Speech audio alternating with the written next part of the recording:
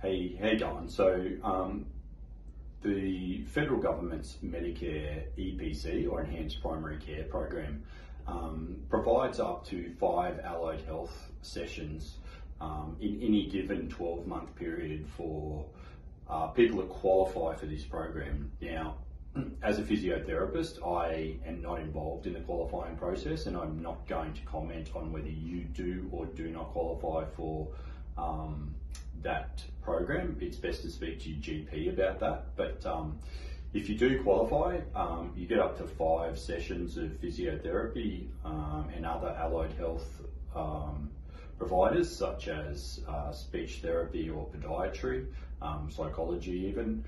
So if you think you want to, if you think you're going to qualify for the Medicare program, go see your GP, get the referral, and then uh, we will be able to provide treatment for you.